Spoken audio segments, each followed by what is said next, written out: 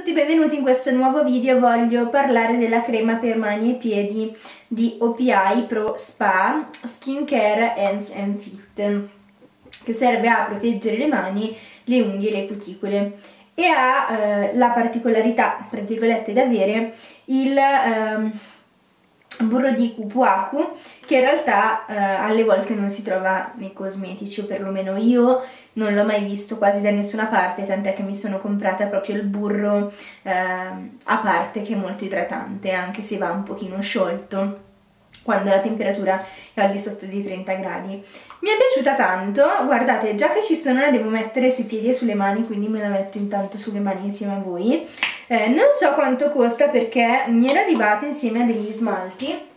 e quindi l'ho voluta eh, provare perché comunque non avevo mai provato cose di OPI per riguardo alla skincare e lascia la pelle super super morbida, mi piace tanto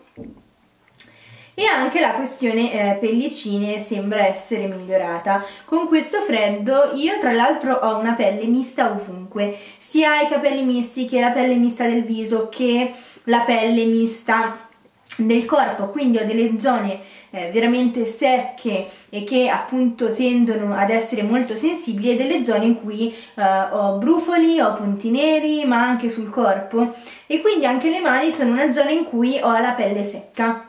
anche i piedi per esempio allora eh, mi piace tanto, ve la consiglio, mi piace molto rispetto anche a delle altre creme eh, che ho comprato al supermercato e che, alle quali sono fedeli da anni, tipo la Glysolid per esempio, Glysolid, Glysolid. Mi è piaciuta tanto, questa è una di quelle creme che sicuramente ricomprerei Voto, eh, mi avete chiesto di dare il voto ai prodotti, ovviamente ci tengo a dire sempre secondo il mio gusto personale, eh, ci mancherebbe eh, e il mio modo di, appunto, cioè il mio gusto personale. Voto 7 più più più, perché mi è piaciuta tanto. Anche sui piedi rende i piedi secchi, molto molto molto morbidi e aiuta contro la secchezza dei talloni, quindi se vi serve una crema che vada bene sia per le mani ma anche per i piedi perché ho notato che mentre le creme mani sono poco costose alle volte e funzionano più o meno bene le creme piedi che funzionano